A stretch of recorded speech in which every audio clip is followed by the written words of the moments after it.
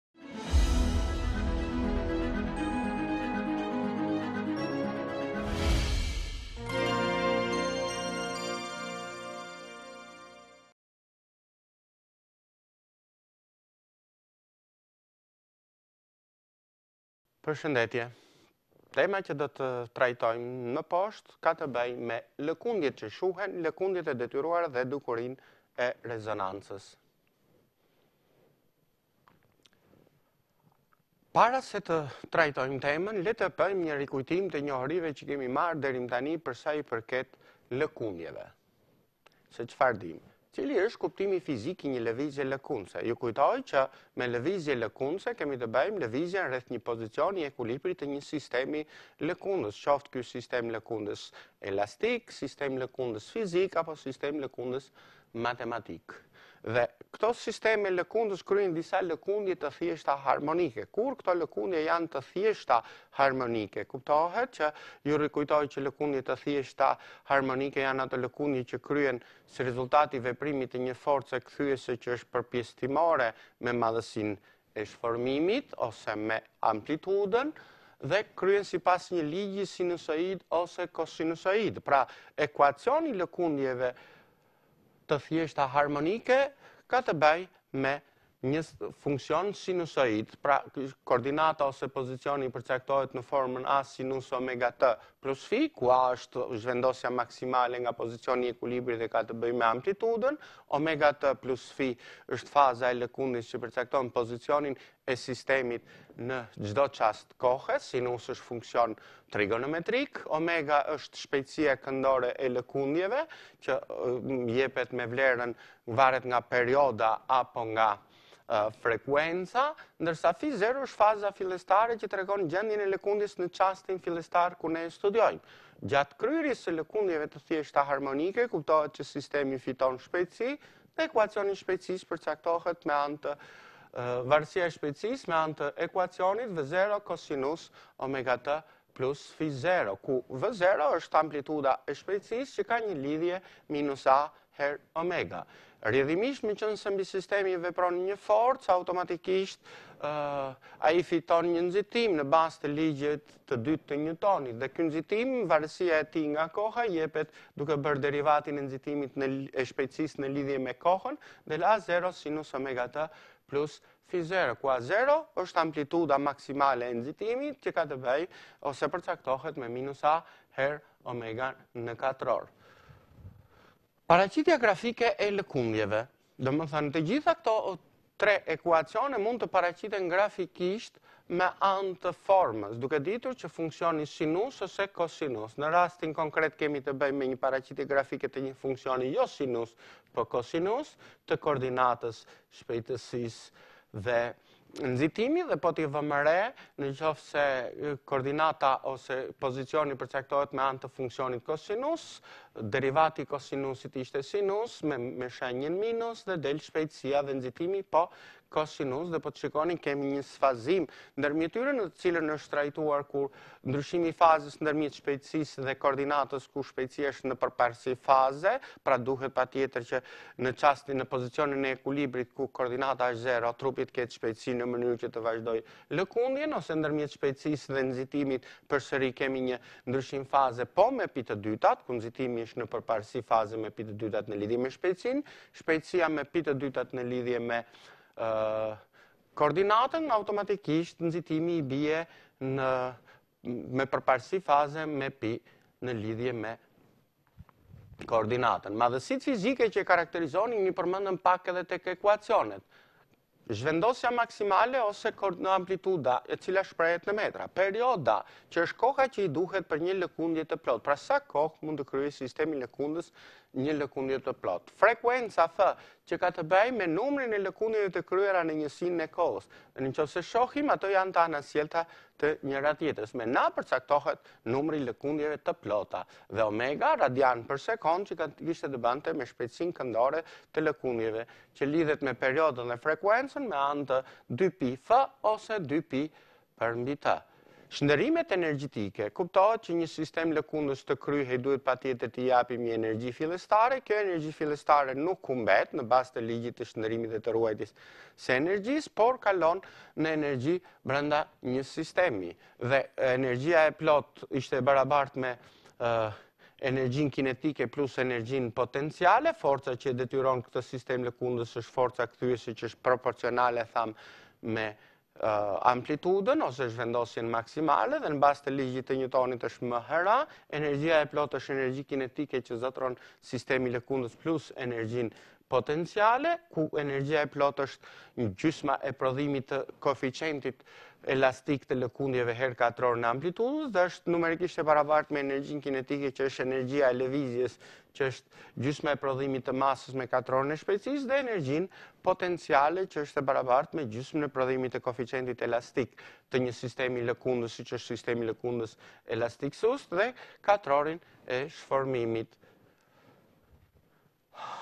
Po, sistemet lëkundës, cilët janë disa nga sistemet lëkundës që kryejnë lëkundje të thjeshta harmonike. Një nga sistemet është lavjerrësi sustë, i cili përbëhet nga një sustë elastike dhe një trup i lidhur me ta, që të kryejë lëkundje duhet patjetër ta nxjerrim nga ekuilibri në këtë moment i japim një sasi energjie, forca elastike që është proporcionale me shformimin e detyron të kthehet në pozicionin fillestar të ekuilibrit, ku shuma e forcave është zero, Nga pozicioni i ekuilibrit për shkak të shpejtësisë, për inerci kalon në një pozicion tjetër duke e ngjeshur sustën dhe forca elastike është K herë X, ndërsa në lavjerrësin tjetër që ka të bëjë me lavjerrësin matematik, sistemi lëkundës tjetër, i cili përbëhet nga një fill i pazgjatshëm, në fundin e të cilit është varur një trup me masë më, Dhe ky filli ka një gjatësi lë, forca që detyron të kthehet atë është një përbërëse e forcës së rëndesës ose forcës tërheqëse të tokës, gravitacionale të tokës, që është më herë gë herë sinusin e këndit të shformimit. Vetë ndërsa sistemi tjetër ka të bëjë me një sistem ose lavjerrës fizik në të cilin është i varur në një fije ku përsëri kemi të bëjmë me Një përbërëse të forcës së rëndesës që e detyron atë të kryejë lëkundje. Vetë shpejtësitë këndore në secilin prej rasteve përcaktohet me anë të relacionit omega rrënjë kë përmbi mës për lavjerrësin sustë, omega rrënjë gë përmbi lës për lavjerrësin matematik dhe omega gë përmbi lë rë ose distanca që është largësia e qendrës së masës nga pika në të cilën është varur trupi, G përmbi LT. Vetë periodat e tyre përcaktohen dy pi rrënjë më përmbi kës, meqenëse janë të anasjellta, domethënë duke parë që tëja është dy pi përmbi omega, do të dalë për lavjerrësin matematik 2 pi rrënjë lë përmbi gës dhe për lavjerrësin fizik 2 pi rrënjë uh, LRS përmbi që është gjatësia relative përmbi G. Pra po t'i shikojmë tek lavjerrësi sustë, varësia e periodës dhe frekuencës është edhe nga masa dhe nga koeficienti i elasticitetit, ndërsa për, period, për lavjerrësin matematik dhe lavjerrësin fizik nuk ka rëndësi vlera e masës, kuptohet që ka një kufizueshmëri për sa i përket këtyre lëkundjeve të thjeshta. Çfarë kushte duhet të plotësojë secili nga sistemet lëkundës në mënyrë që të kryejë lëkundje të thjeshta harmonike? Marrim në rastin e sistemit trup sustë.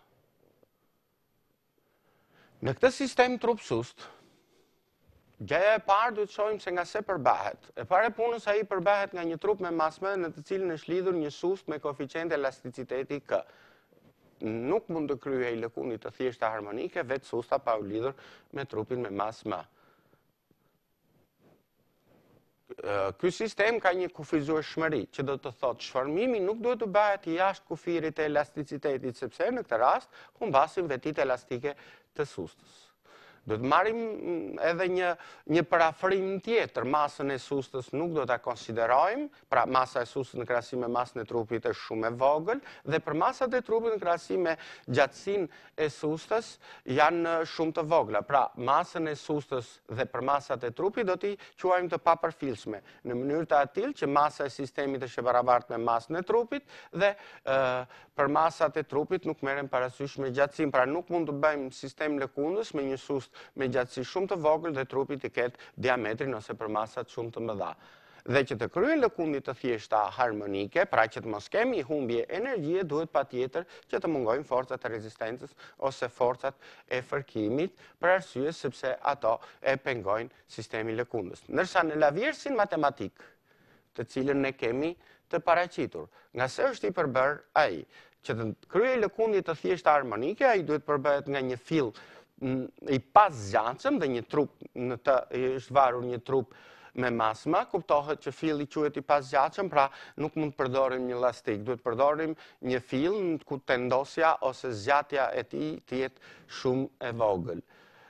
Kufizueshmëria nuk mund ta zhvendosim lavjerrësin matematik më tepër sesa këndi që të formonte me drejtimin vertikal 90 gradë, sepse në qoftë se do ta kalonim atë kënd, atëherë lavjerrësi nuk mund të kryente lëkundje të thjeshta harmonike, do të binte. Një kufizueshmëri tjetër është që masa e fillit nuk merret parasysh, pra gjithë masa e sistemit është masa e trupit dhe ndërkohë Përmasat e trupit në krahasim me gjatësinë e sustës janë të papërfillshme. Edhe në këtë rast, duhet të mungojnë forcat e fërkimit ose forcat e rezistencës, sepse do të kishim një humbje të energjisë. Çfarë do të ndodhte në kushte reale? Jo, në shumicën e rasteve në për Kur kemi kaluar, kemi parë disa lavjerrësa të cilët kryejnë lëkundje dhe ndër ta, ne po shikojmë një lavjerrës të cilin është ndërtuar për t'u argëtuar, shilarësi që ju shikoni këtu. Kuptohet që kemi të bëjmë me trupin të varur në dy fije, nuk është fije, po janë zinxhirë, kuptohet që janë të pazgjatshëm, pra disa prej tyre i plotësojnë kushtet. Mirëpo ky Lavjerrës, automatikisht në kushte reale është i vendosur në një trup i cili vërtitet ose rrotullohet vetë zinxhiri brenda saj ose bashkë me aksin. Gjatë këtij rrotullimi janë të pashmangshme forcat e rezistencës. Meqenëse forcat e fërkimit ose forcat e rezistencës janë të pashmangshme, automatikisht gjatë kësaj kohe do të kishim një humbje të energjisë. Duke humbur energjia për shkak të forcave të fërkimit ose forcave të rezistencës rezistencës, sepse këto forca fërkimi janë të afta të kryejnë një punë negative për sistemin, ku kjo punë negative mund të shndërrohet në energji të tjera, pra nuk do t'i mbetet energji sistemit. Duke qenë se energjia humbet, arsyeja e humbjes së kësaj energjie për shkak të punës që kryejnë forcat e rezistencës ose forcat e fërkimit çon në një zvogëlim të amplitudës, e cila në lëkundjet e kësaj raste, që quhen lëkundje ndryshe që shuhen, është e mirë përcaktuar, ndërsa frekuenca e lëkundjeve nuk ndryshon. Cili do të ishte ekuacioni në këtë rast që do përcaktonte pozicionin e vendodhjes së sistemit. Nga ekuacioni i lëkundjeve të thjeshta të cilën dhe është x i a kosinus omega e sistemit, domethënë vetë sistemi ka një frekuencë herë t plus fi, kalon në një ekuacion x i është e barabartë me a herë E në fuqi minus beta t kosinus omega t e sistemit plus fi, ku beta është koeficienti i shuarjes. Pra edhe një herë në kushte reale, për shkak të ekzistencës ose pashmangshmërisë së forcave të rezistencës ose forcat e fërkimit të cilat kryejnë një punë mbi sistemin një punë negative çojnë në zvogëlimin e energjisë. Ky zvogëlim i energjisë çon në zvogëlimin e amplitudës dhe po ta shikojmë amplituda varet nuk është me a dhe një vlerë konstante po varet nga koha dhe nga koeficienti i shuarjes së lëkundjeve e është një numri i Neperit dhe është funksioni eksponencial prandaj thamë që është e mirë përcaktuar se si ndryshon vlera e amplitudës. Në paraqitjen grafike po të shikoni lëkundjet në të cilën ndodhen nga një amplitudë sa vjen dhe amplituda e saj zvogëlohet. Varet pasandaj nga forma ose koeficienti i shuarjes që është. Kur koeficienti i shuarjes është shumë i madh, këto lëkundje shuhen përnjëherë. Ndërsa këtu kemi përcaktuar varësinë e koordinatës nga koha t të një lëkundje që shuhet nga një amplitudë. Po ta shikojmë, hapësira ndërmjet dy lëkundjeve të njëpasnjëshme është në intervale kohore është e njëjtë, pra frekuenca nuk ndryshon kurse amplituda sa vjen dhe zvogëlohet ku me kalimin e kohës ndodh shuarja e lëkundjeve.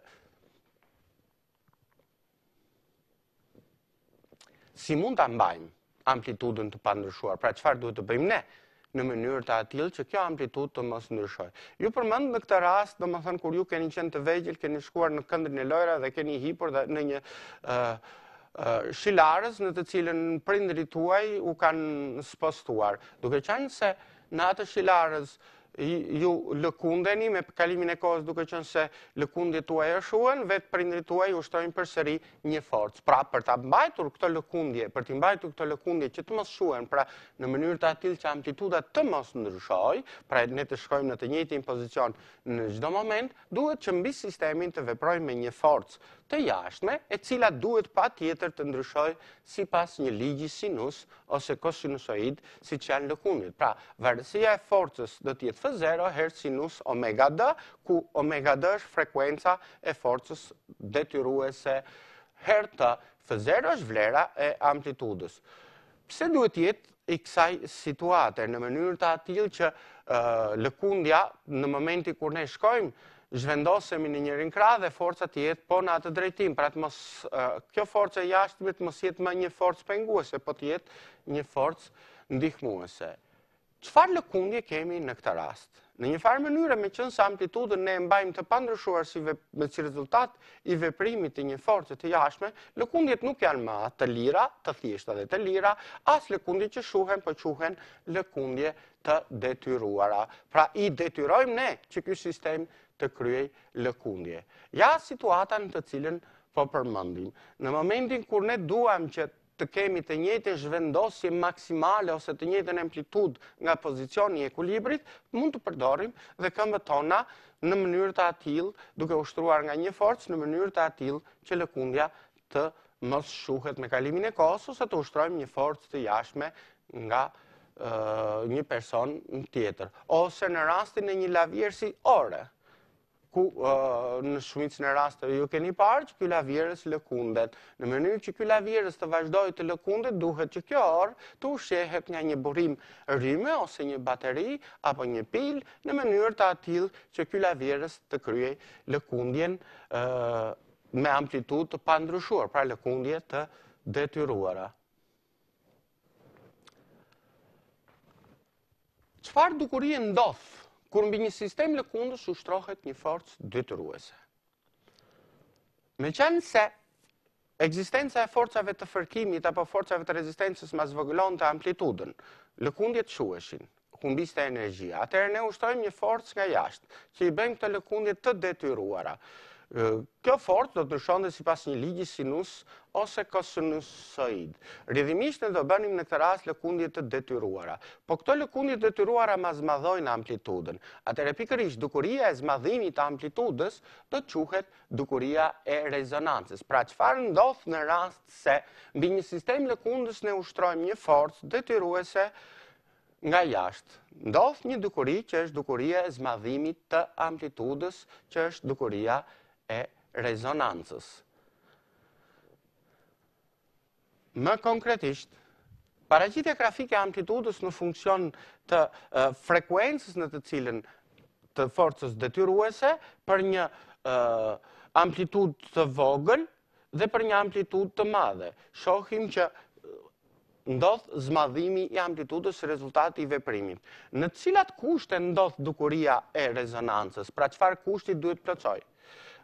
Dukuria e rezonancës do ndodh vetëm në atë rast kur frekuenca e forcës detyruese është e barabartë me frekuencën vetjake. Pra, frekuenca me të cilën do të veprojë forca detyruese do të jetë e barabartë me frekuencën vetjake omega 0, pra frekuenca e barabartë, që do të thotë, qoftë se frekuenca vetjake e një sistemi lëkundës përcaktohet me rrënjën katrore të k përmbi m-së, apo rrënjën katrore të g përmbi l-së, vetë vlera e frekuencës së forcës detyruese që vepron mbi sistemin, duhet të ketë një vlerë të barabartë me ta në mënyrë që zmadhimi i amplitudës të jetë ai i dëshiruar.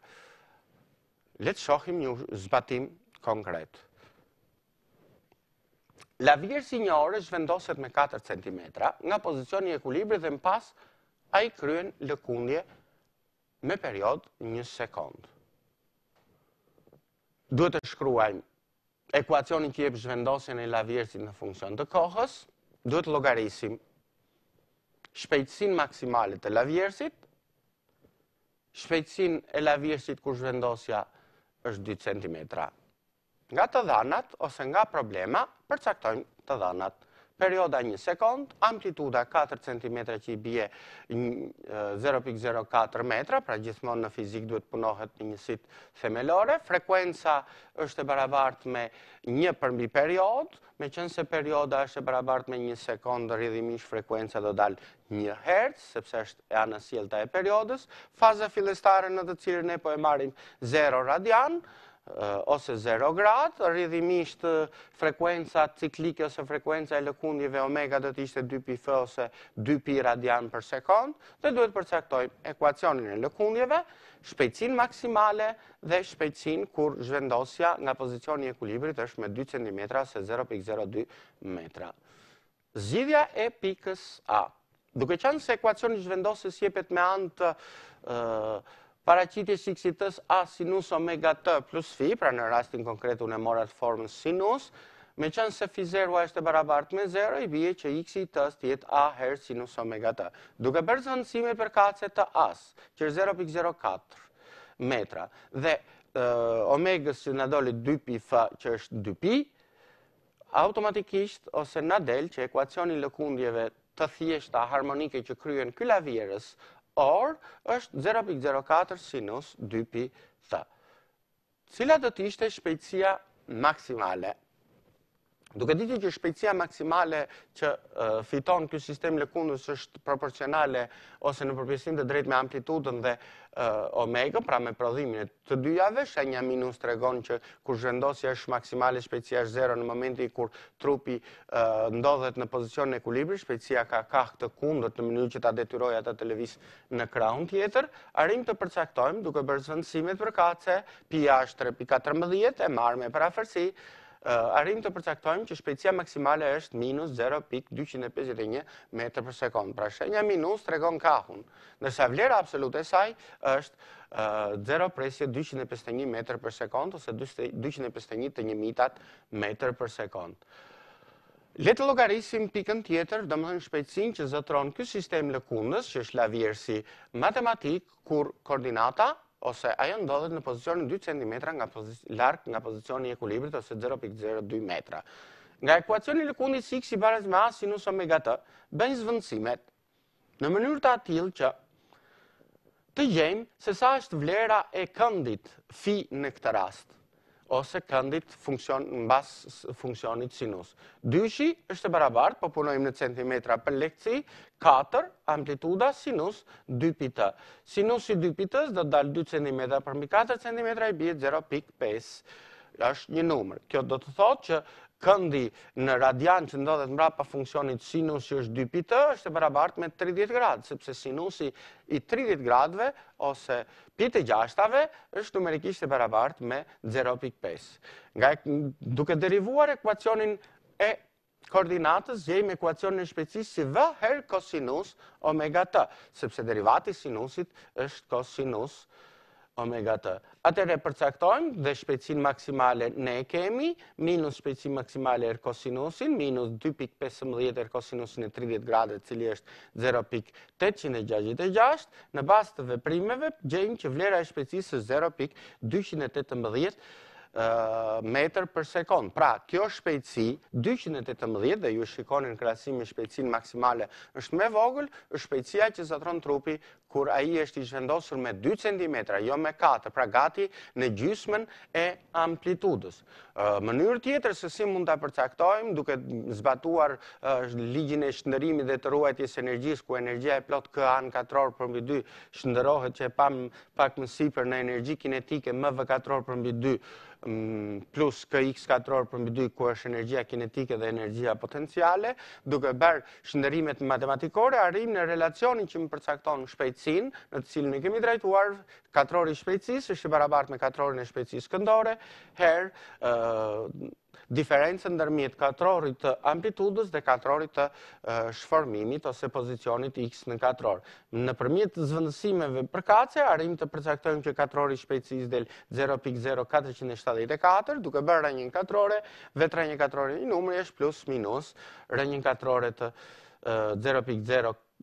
katërqind e shtatëdhjetë e katër dhe del me përafërsi 0.218, pra me të njëjtën vlerë, siç e përcaktuam pak më lart. Pra, për të zgjidhur situatën problemore, mund të përdoren të gjitha relacionet apo formulat të cilët ne kemi studuar për sa i përket lëkundjeve të thjeshta harmonike. Në këtë sistem lëkundës që ne përmendëm pak më lart, kuptohet që ai të kryejë, duhet patjetër që të ushtrohet një forcë nga jashtë, që është forca detyruese në mënyrë që amplituda të mos ndryshojë. Çfarë trajtuam më konkretisht, le të bëjmë një përmbledhje të gjërave në të cilën. Bëjmë një përmbledhje të njohurive për lëkundjet e thjeshta harmonike. në të cilën treguam cilët ishin madhësitë fizike që karakterizojnë një lëkundje, cilët janë ekuacionet që përcaktojnë vlerat e pozicionit, shpejtësisë dhe nxitimit, apo cilët ishin sistemet lëkundës të thjeshtë, të cilët realizojnë lëkundje të thjeshta harmonike. Kuptimi fizik i lëkundjeve që shuhen Dhe shkaku i shuarjes së tyre. Pra çfarë ishin lëkundjet që shuhen? Janë atë lëkundjen në të cilën çojnë në zvogëlimin e energjisë, pra automatikisht zvogëlimi i amplitudës, për shkak të ekzistencës së disa forcave të jashtme që janë forcat e rezistencës, të cilat kryejnë një punë negative mbi sistemin. Lëkundjet e detyruara dhe si mund t'i realizojmë ose si lindin ato.